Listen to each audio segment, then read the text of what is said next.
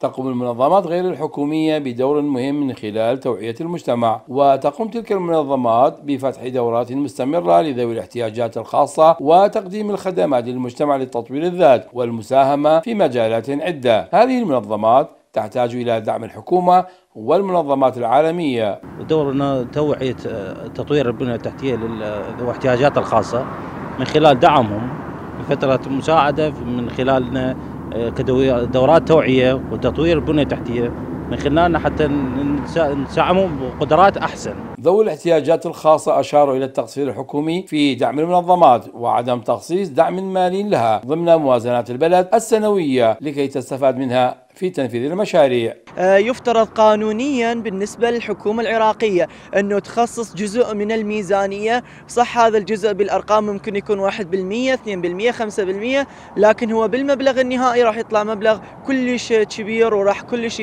تستفاد المنظمات بتنفيذ المشاريع والأنشطة بما يخدم المجتمع العراقي بصورة عامة وخاصة المجتمع الكركوكي وأطراف كركوك والمناطق المتضررة آه، أجراء هاي الأحداث اللي حصلت في الفترة الأخيرة. 12 ألف مواطن من ذوي الإعاقة في كركوك ينتظرون دعمهم من قبل المنظمات غير الحكومية وخصوصا المنظمات العالمية. هنا نحن تواجدنا كأعضاء المنظمات وأيضا آه، وهم لديهم دعم خاص لمناصرة ذوي إعاقة ونحن بحاجة إلى مناصرة.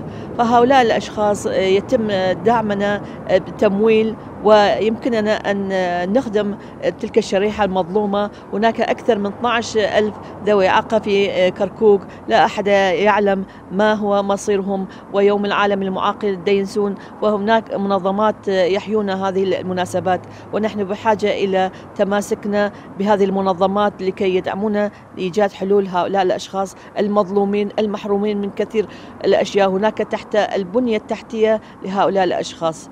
هناك العشرات من المنظمات الحكومية وغير الحكومية موجودة في كركوك وهناك المئات من المواطنين بحاجة ماسة إلى دعم أو تخصيص مالي لتنفيذ مشاريع صغيرة أو تأمين مستقبلهم.